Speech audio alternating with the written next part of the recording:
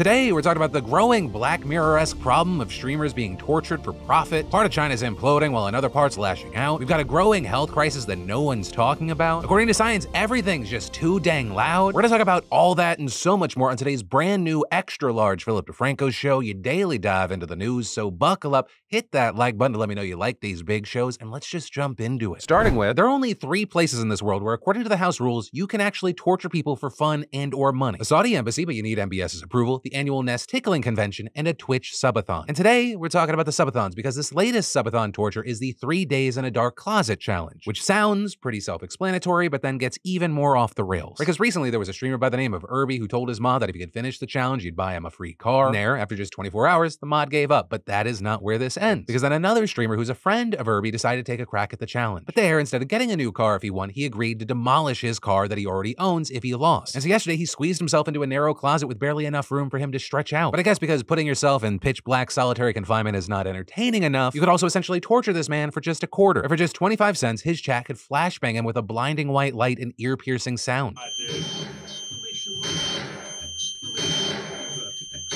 And on top of that, they could pay to torture him with text to speech, blast him with a leaf blower, pelt him with eggs or ping pong balls. And during this, he never really got a rest or a break. It was just endless torture, with it all culminating to the around 25 hour mark where he just couldn't take it anymore and he gave up with him crying in front of his stream. And so, understandably, you have a lot of people saying, What the fuck? I'm also one of them. Because in no world should any of this be normalized. Because also, like, this isn't new. I've seen stuff like this before on TikTok in the past. And in no world should these public platforms be platforming people subjecting themselves to abuse for money. Like, we're living in another Black Mirror episode here. Like, is this where entertainment's at? This makes the NPC streamer thing on TikTok seem so normal. We got people LARPing CIA black site torture for 25 cents a pop. Like, there are even people watching this happen and they were like, he needs to stop. He's having a panic attack. And the truly unfortunate thing is there are a lot of people out there and even outlets that are talking about this as if it's not completely unhinged. Who are talking about this like, oh, he failed the challenge. And other people are like, oh, I could do it. And unless the platforms actually do something about it, other people are going to follow because, I mean, look how much free press this guy's getting. Like, y'all, I don't want to get a real job either, but there's got to be some lines in the sand. But hey, that is this ridiculous situation and news story, some of my opinion, and now I pass the question off to you.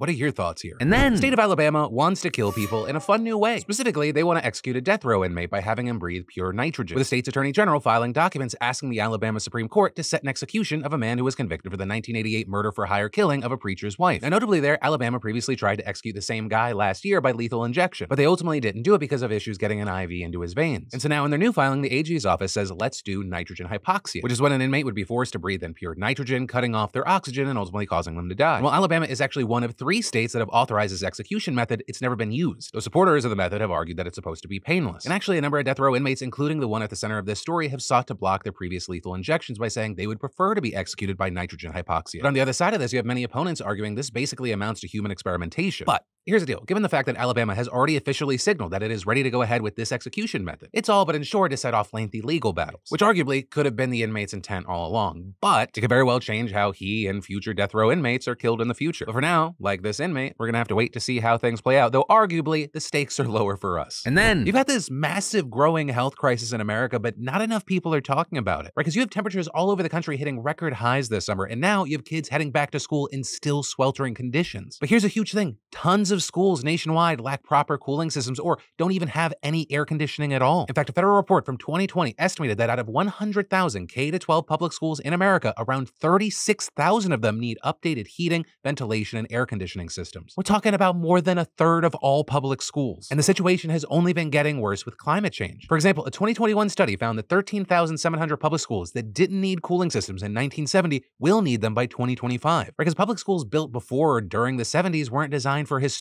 extreme heat. And understand, this isn't a problem just in typically hot parts of the country. In fact, experts say that one of the major issues here is that schools in cool weather climates are now the most ill prepared. I mean, some of these buildings we're talking about were specifically built to retain heat, which is why you have education leaders and experts warning that failing to modernize these systems actively harms staff and students and even put them in danger. Or we've seen schools reporting serious heat related illnesses like heat stroke on hot days, and multiple public health studies finding that as the prevalence of high temperatures increase, so will heat related illness at school. But the impact of inadequate heating systems extends beyond just the infrastructure infrastructure and school buildings. Right, for example, on the very first day of the school year in Des Moines, Iowa, temperatures hit a record 100 degrees. But just five of the 130 school buses in the district actually have AC, which made not only for just an absolutely horrible ride for tons of kids, but also resulted in 15 drivers being treated for signs of heat exhaustion. But also beyond that, the lack of proper cooling undermines the entire point of school. It's incredibly disruptive to learning, and that's actually backed up by science. With a series of studies finding that extreme temperatures increase absenteeism and student disciplinary referrals. You also have students scoring increasingly lower on standardized tests for each day when the temperature was above 80 degrees. And you even have a Harvard research paper from a few years back identifying a direct correlation between rising temperatures and decreased learning outcomes in schools without air conditioning. Right? Researchers finding that when a school is just one degree hotter, it reduces learning over that entire year by 1%. And that notably also disproportionately impacting Black, Hispanic, and low income students, with a paper estimating that heat accounted for as much as 13% of the racial achievement gap in America. And I'm talking about this now because we're just a few weeks into the new school year and we're already seeing firsthand evidence of these heat related disruptions. Where last week we saw numerous school districts across the country being forced to modify their schedules because of lacking or non existent cooling systems, with districts in Illinois, Indiana, Iowa, and so many others either closing down entirely or dismissing students early as millions of people were under excessive heat warnings. So clearly, this is an incredibly serious problem that is only getting worse, but there's not enough movement to actually fix it right now. And part of the reason for that is this problem is so widespread, and addressing it is insanely expensive. The 2021 infrastructure bill set aside half a billion dollars to close the funding gap, but experts estimate that $38 billion is what's actually needed. Though in some places, funding isn't even the issue. For example, you have things like one teacher in Philly telling reporters that a school actually bought air conditioners a few years ago, but then the district told them, hey, you can't use that because those units are going to put too much strain on the grid. So they're just sitting in storage unused as you have kids suffering. And honestly, this shouldn't be a surprise because when infrastructure is not addressed, it does what it does. It slowly crumbles, right? You slowly catch up to that can you kick down the road. And I genuinely don't know if we're going to see actual solutions come from our government. And then, longtime viewers note that I talk about my Vessies all the time, and it's because I love these go-to for anything shoes. So thank you to Vessi for being a great partner and sponsor of the PDS. And there are so many great styles and colors to choose from, but of equal importance, they're lightweight, waterproof, and snowproof, so you can enjoy a relaxing walk in any weather. I personally like the laceless look at the moment. That's why I'm still reaching for my boardwalks to move around without being restricted, and Vessi sneakers just look good. The low cut goes with almost any fit that you can think of, and with different colorways, you can pick the right look for yourself. But I also really want to give a shout out to the team at Vessi helping to support programs to create fresh water where it's needed most around the world. But the main thing, go check out Vessi. They have a style for everyone, and you'll get 15% off your entire order when you go to Vessi.com slash PDS. That's Vessi.com slash PDS for 15% off right now. And then when you think of 3M, what comes to mind? For me personally, I think of either like picture hanging strips or like masks, but they are an absolutely massive conglomerate with their fingers in everything. And they've actually been on the receiving end of hundreds of thousands of lawsuits by military veterans over their earplugs, which those vets said failed to protect them from hearing loss during their military service. Now, the cases date back to 2016 with a whistleblower lawsuit filed on behalf of the US government, and it is one of the biggest mass torts in history, meaning that it is one of the largest groups of people who were all harmed by the same thing. Are These plaintiffs saying the earplugs were faulty and many were left with hearing loss and tinnitus. And all of it leading to the big news today a $6 billion settlement. And the plaintiff's attorneys saying in a statement this historic agreement represents a tremendous victory for the thousands of men and women who bravely served our country and returned home with life altering hearing injuries. Though, of course, because we are talking about a rich as fuck company, the company agreed to the settlement without any admission of liability. Instead, saying their earplugs are, quote, safe and effective when used properly, and going on to say they are prepared to go to court if certain terms in the settlement aren't met. However, we'll also see what happens because some analysts suggest that the litigation could cost the company between 10 and 15 billion dollars. And notably, this isn't even the only multi-billion dollar legal settlement 3M has dealt with this year, with them back in June agreeing to pay over 10 billion dollars over 13 years to fund the detection of forever chemicals in drinking water, with the plaintiffs in that case alleging that the company knew the chemicals in its products could cause a variety of health problems along with cancer, low fertility, and birth defects. But also, like with the earplug case, the company didn't have to admit liability in their settlement there either. Also, oddly, this is only the first of two noise-related stories today. And then, do you think that we should ban cashless businesses? Because right now, LA wants to ban them, because many places in LA have actually stopped accepting cash as a payment method, with a number of business owners saying it's just a more effective and safe way of doing business. Because they say that by accepting just plastic and digital payments, businesses can remove cash-related costs, things like storage and transport, as well as attempting to minimize the risks of break-ins by limiting the amount of cash that they have on hand. However, according to people like City Council member Heather Hutt of the 10th District, this practice is leaving many customers behind. And a recent motion to ban cashless businesses reading, not accepting cash payment in the marketplace systematically excludes segments of the population that are largely low-income people of color. With Hutt also going on to say that customers who are unbanked, elderly, or low income often rely on cash just to get by, and saying in order to ensure that all city residents, including those who lack access to other forms of payment, are able to participate in the city's economic life, we should adopt an ordinance that allows them to pay cash for goods and many services. And as far as how many people does this actually affect, a 2021 study estimated that 7% of California's population was unbanked, with nearly another 20% being underbanked. Meaning they have irregular access to banking services. Very notably with this, LA wouldn't be the first to ban cashless businesses, with New York City, Philadelphia, San Francisco, and DC having all adopted similar ordinances and rules. Hell, even whole states like Massachusetts, Colorado, New Jersey, and Rhode Island have banned cashless businesses. But on the other side of this, you have people saying, why penalize a business for running it how they want to? But if a private business isn't a utility or an essential service, why does the government have to crack down on them? But for now, we'll have to wait to see what LA does. And in the meantime, I gotta ask you,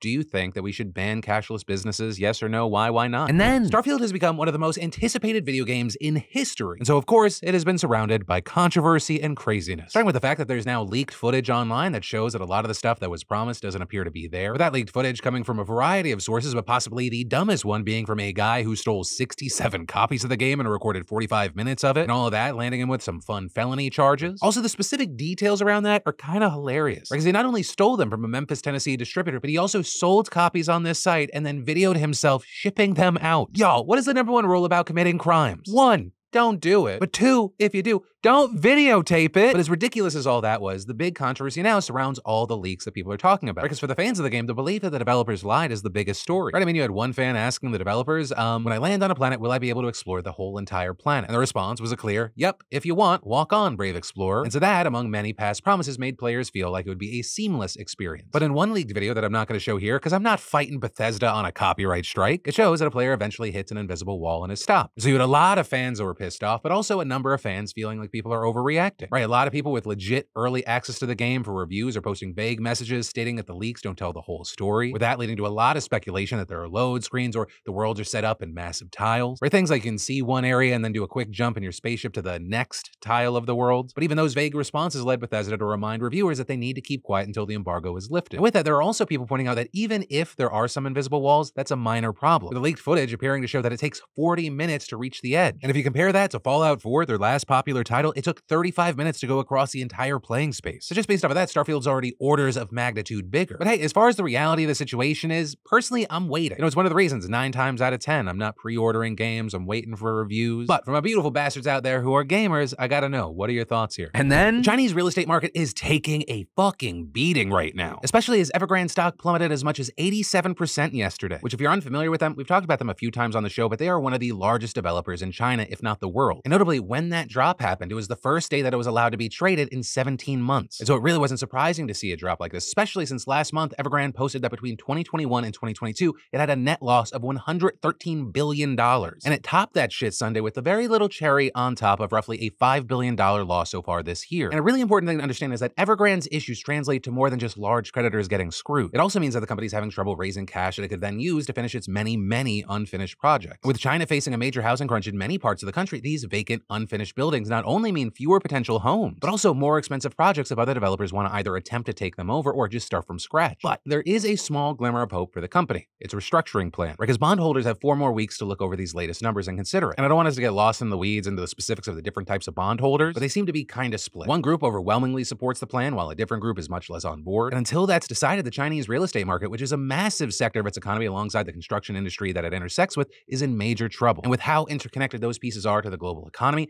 any collapse will likely have a domino effect, which to kind of give you an idea of what that would look like, you look back to 2008. And then, ah, sleep. It is quite possibly the best thing ever, but only when you actually get it. You know, being busy with work, kids, life's typical stressors, you know, I don't always sleep well. And that's even when we do get to bed on time. But that is where today's fantastic sponsor comes in, Beam. Right by now, you've heard me talk about Beam's delicious hot cocoa with five natural ingredients that put me right to sleep and helps me wake up feeling amazing. And not only is it delicious, it contains five powerful natural sleep promoting ingredients like nano hemp, reishi mushroom extract, magnesium, L-theanine, and melatonin. It's third party lab tested, contains no THC, and is trusted by top athletes to help them get their best sleep and recovery. And with fall around the corner, you'll love the pumpkin spice dream powder, which you should snag because it's only here for a limited time. So if you find your sleep hygiene to be lacking, Beam's dream powder is for you. Just go to shopbeam.com slash DeFranco and use code DeFranco to save up to 35% off the original price and a free frother. I am hooked and I know you'll be too. So shopbeam.com slash DeFranco and use code DeFranco to let them know we sent you. And then noise in America isn't just a nuisance. It's actually making our lives worse. And this is incredibly true if you live in or around mid to large sized American cities. I mean, your eardrums are being endlessly assaulted by people blasting music, cars, trucks, buses revving their engines, planes taking off and landing, trains screeching down the tracks, helicopters buzzing overhead, emergency vehicles like cop cars, fire trucks, and ambulances, their sirens wailing. I mean, there's a lot of noise polluting our everyday lives. I mean, we've got concerts so loud people nearby think it's an earthquake. Or we talked recently about Taylor Swift and Travis Scott, but Harry Styles did the same thing at Madison Square Garden back in 2021, with people at a boxing match in the theater below his concert showing videos of the ceiling shaking and comparing it to an earthquake. But here is the very important thing. While our world has gotten louder and louder over the years, we are still working with the same old ears that were designed to perk up at the snap of a twig, right? The sound of an animal. So it's not surprising that a researcher at the University of Michigan who looked at the data from the noise detector feature on people's Apple Watches said the preliminary results suggest that potentially as many as one in three Americans are exposed to levels of sound that might be harmful to their health. Right? Because we each have these delicate microscopic hairs in our inner ear that pick up vibrating frequencies from the eardrum that then relay sound to the brain. But if those vibrations are too strong, they can stress or even break those hairs and the damage is irreversible, which is how we lose our hearing or suffer tinnitus. Now, notably, the human ear can tolerate up to about 85 decibels, or roughly the sound of city traffic before that happens. But noise isn't just something that you hear, it's something that you feel. Right? Even noise as low as 45 decibels can trigger an involuntary stress response, raising your blood pressure and heart rate and releasing stress hormones. So actually, if you are exposed to chronic noise pollution, you're liable to fall into a chronic state of stress. And that also means all the horrible, terrible, no good things that come along with it. Things like heart disease, hypertension, stroke, cardiac arrest, anxiety, depression,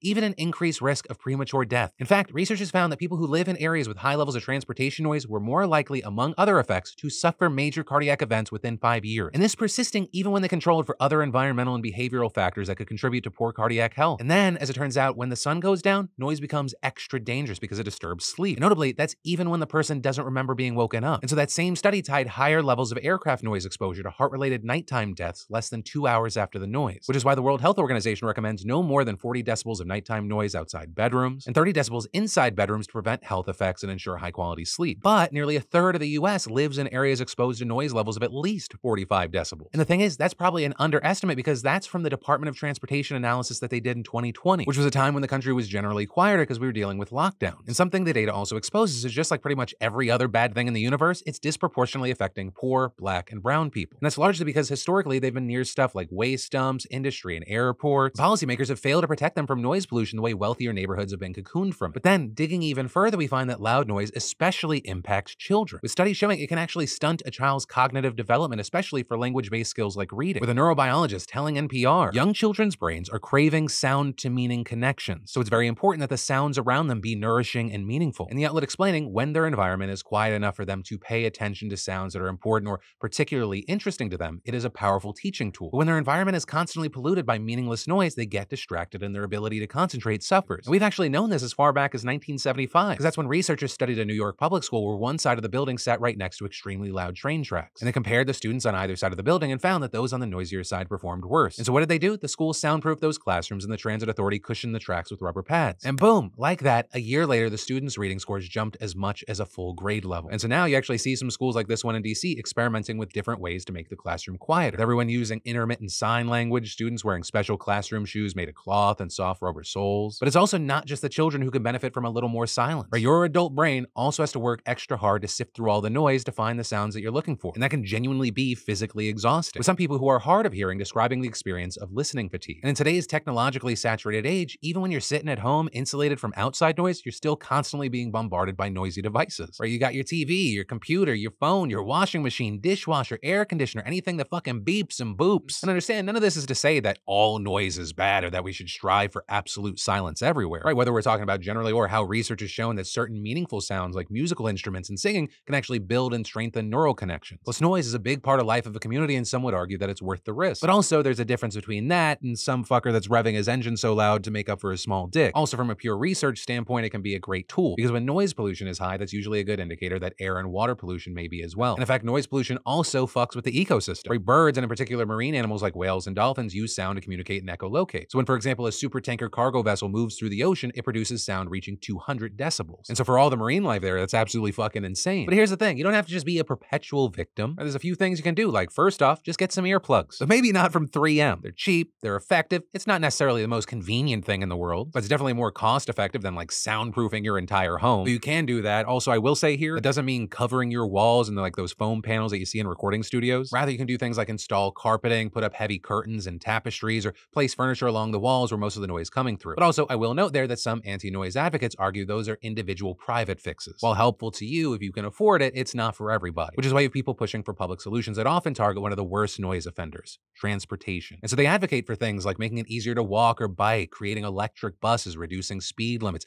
disincentivizing trucks, and cracking down on illegal vehicle modifications. We could also make more buildings with triple pane windows and thicker insulation, especially for bars and nightclubs that blast music all night. And part of the reason I'm focusing on the United States here isn't just because that's the majority of this audience. As a number of people rightly point out, other countries already do a lot of this. Locks on freight trains, noise reduction in car manufacturing, and mitigation efforts at airports. In Paris, they even have cameras that monitor the noise emissions from vehicles and fine drivers who exceed set limits. In Germany, they prohibit people from mowing their lawns on Sunday because it's supposed to be a day of rest. And in Switzerland, they actually have national quiet hours not only on Sundays, but also every day overnight and one midday hour on weekdays. And so you might be asking, well, why don't Americans do the same? Like, not all of those things, but some. Well, the answer is we actually already tried to. Right in 1972, Congress passed the Noise Control Act, and the EPA created safety limits, educated the public about dangers, and conducted studies on noise pollution. But then when Reagan entered the White House, he defunded the agency's Office of Noise Abatement, which made it much harder to enforce regulation. Though notably, in June of this year, a member of the House introduced a measure to refund that office, signaling that anti-noise activism is actually getting the government's attention. And that same month, a New York City council member introduced legislation that would require emergency vehicles to use low-frequency sirens, which would actually be huge because New York is one of the loudest cities in America. But with all that said, I now got to pass the questions off to you. I mean, what are your thoughts in general with this story? What have your experiences been with noise pollution where you live? Also, where is that? Any and all thoughts you have, I'd love to hear from you. And then China is having an absolute meltdown over Japan, where Japan released treated water from Fukushima into the ocean with the approval of the IAEA, with many scientists agreeing that it'll have a negligible impact on the environment, with this being a process that'll take 30 years as they slowly release it. But China is acting like Japan unleashed a toxic plague into Asia, with China's Wolf Warrior artist releasing this image depicting Japan. Where at first China calling them selfish and irresponsible, and now China says it's blocked all seafood imports from Japan despite all testing of the water and fish showing it to be very safe, which is why Japan is now taking China to the WTO over the seafood ban. And a key thing here, scientists have pointed out that China actually releases untreated water from its nuclear plants every day that is actually more radioactive than what Japan is releasing. But that still hasn't stopped Chinese citizens from harassing Japanese businesses and schools with phone calls and throwing rocks at their embassy in China. So you've got Japan asking China to tell its citizens to chill the fuck out, China saying it has no idea what Japan's talking about. And as far as Japan's other neighbors, South Korea said that if Japan is following the regulations and doing it safely, then who cares? Taiwan and the Philippines basically said whatever. But in Hong Kong, they declared Japan an enemy of the whole world. And then China has demanded that the British Museum return all of its Chinese cultural relics that it stole, and also adding that the British Museum should return all of their stolen relics to their home countries. Or we're talking Egypt, Greece, India, Nigeria, not just China. And they say the vast majority of their 8 million relics are stolen from other countries, and that the UK has a bloody, ugly, shameful colonial history. Which, damn, like, I'm not a fan of the Chinese government, but I don't see the lies here. Like, when you go to the British Museum, it's like if a bank robber had their heists on display. Like, the British Museum took part of the inside of one of their pyramids and brought it back to London. Imagine construction equipment just showing up at your house one day. They chop that thing in half. They put part of your house in their house for other people to see. And then you ask for it back and they're like, stop being ridiculous. How would that even work? You can come and see it though. And that is where today's daily dive into the news is going to end. But for more news you need to know right now, I got you covered right here. You can click or tap or I'll link in the description down below. And if you're already caught up on everything, do not worry because my name's Philip DeFranco. You've just been filled in. I love yo faces and I'll see you right back here tomorrow.